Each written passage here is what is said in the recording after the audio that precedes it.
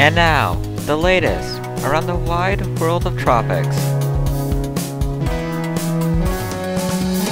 Tropical Weather Bulletin for August 13th. Well, here we are on day 225 of the year, and we have four systems active, whether they're alive or dead. Hurricane Linda in the eastern Pacific, and post-tropical cyclone Kevin, as well as Tropical Depression Fred just north of Cuba, and Tropical Storm 16W, which continues its path westward, threatening Guam as a weak tropical storm soon in the next five days. It's day 74 of Atlantic hurricane season. Fred is barely hanging on there after crossing the mountains of Hispaniola. However, it is expected to re-strengthen back to a tropical storm as it threatens Cuba and Florida in the coming days. 95L is also about to form soon enough as well. It's 90 of Eastern Pacific hurricane season. Linda remains a Category 1 hurricane, expected to intensify a little bit more in the coming day or so. And Kevin has become a post-tropical cyclone several hours ago, and it is likely that it dissipates a, a day or so as well. It's still a sweet 16 for 16W as it continues to go on without a name. The Joint Typhoon Warning Center not expecting a name for at least three more days. However, it is expected that it does pass pretty close to Guam, but of course the tropical storm wind field is expected to be pretty small and the wind's pretty weak as well. Nothing going on in the North Indian Ocean at the moment, however there is still that southwestern Indian Ocean AOI, still at 20%, and really there's not much uh, in terms of confidence in terms of development with that. We will see what happens. If anything, this is probably going to be short-lived, nothing worth really noting about. In the Atlantic, uh, not much going on besides the Fred and 95L at the moment. Fred, of course, uh, trying to regain that convection again in 95L, which is doing pretty good organizing. Could become tropical storm within the next two or three days at this point before it proceeds to go towards the same path Fred did.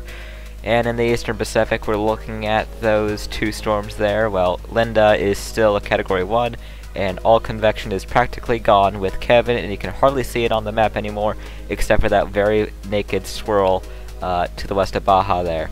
In the Western Pacific, we got the map a little bit closer back to where we normally have it, and you can see 16W there, way to the east there, entering the screen at this point. Um, it is maintaining convection relatively well, still a 40 mile an hour tropical storm, like it's been fluctuating between 35 and 40 miles an hour the last few days. We'll continue to monitor the situation, of course, uh, especially for Guam, as that is in the cone now. In the North Indian Ocean, we're not looking at anything going on here, uh, just your average monsoonal activity as to be expected for this time of year. And of course, nothing is expected in the next few weeks, really, as long as we continue to see this monsoonal pattern continuing for this time of year. Here is the imagery on Fred. Uh, you can see how it is basically trying to regain that convection after getting crushed by those mountainous terrains of Hispaniola. Of course, it is expected to resurface to around 50 miles an hour or so before it makes landfall in Florida Sunday night into Monday morning, so trust are now in place for that one.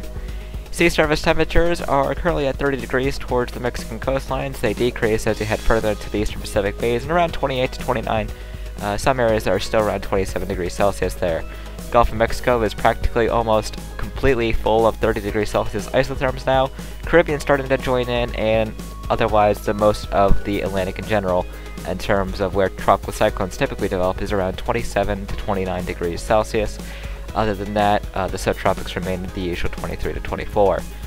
In the North Indian Ocean, we're still looking at those Bay of Bengal waters around 28 to 29 degrees Celsius although the Gulf of Oman continues to be the warmest out of those before you completely cool off as you head eastwards. And then as we get into the Philippine Sea, those are starting to return with 30 degrees Celsius as well as the South China Sea. Other than that, the basin remains around 28 to 29. And where that AOI is to trying to get itself together, it's around 26 to 27 degrees Celsius in that region. So not exactly the most, it's marginally conducive, but not really that conducive overall. Here are the sea surface temperatures in terms of the anomalies.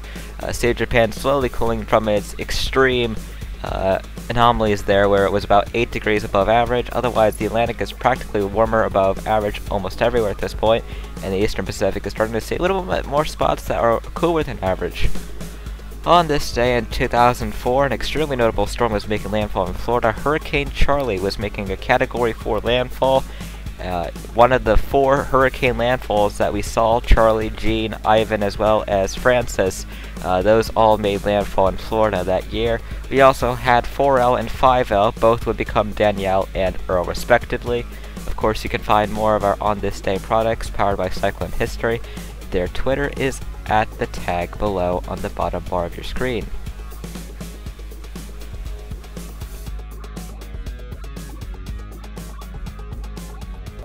Well, here we are. The next name of the Atlantic is now Grace, followed by Henri. In the Eastern Pacific, it is now Marty, followed by Nora. And in the Central Pacific, those 167 knot SFMRs that were found by technical difficulties from recon going into Fred right now, or more likely than the chance that we see Hone in the next five days.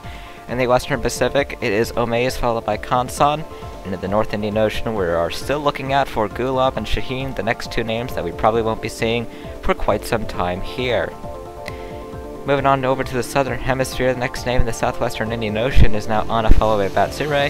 In the Australian region, it's Paddy, and in the South Pacific, it is Cody. Another tropical weather bulletin will be coming tomorrow night.